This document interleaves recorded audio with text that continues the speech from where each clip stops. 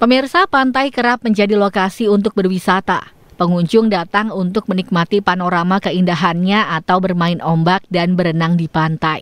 Namun harapan itu tidak terwujud saat berkunjung ke Pantai Pancer di Kecamatan Puger, Kabupaten Jember.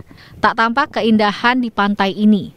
Yang tampak justru pemandangan buruk dan mencicikkan. Puluhan ton sampah menutup hamparan pasir di sepanjang tepi pantai.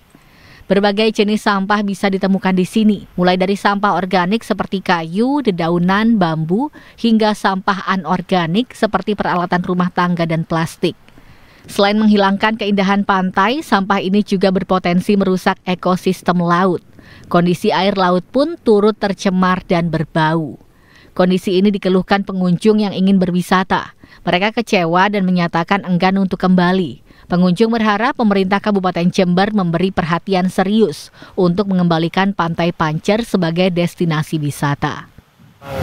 Ini ya niatnya refreshing, terus pemandangannya pemandangannya jadi gak baik ini ada sampah. Apa ketidaknyamanan seperti apa yang dirasakan? Yang pertama jelas pemandangan jelek, kemudian bau juga, dan juga takut ini bahaya ada beling-beling itu juga. Di sisi lain, menumpuknya sampah plastik atau barang bekas menjadi ladang rejeki sebagian warga yang bekerja sebagai pemulung di sekitar pantai. Dari sampah yang mereka pungut, para pemulung ini bisa mendapatkan penghasilan hingga Rp100.000 per hari. Apa ya barang bekas jahat banyak juga banyak ya. Sekali biasanya dapat berapa? Ya dapat juga nyari ya lebih satu. Kalau dapat nyari rezeki ya 40 30. Sayangnya tidak semua jenis sampah bisa dijual ke pengepul. Sisa sampah yang lain tetap menggunung dan mengganggu keindahan. Kondisi ini membuat Pantai Pancer sepi pengunjung.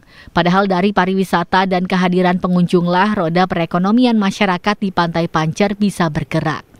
Lutfi Kurohman, JTV.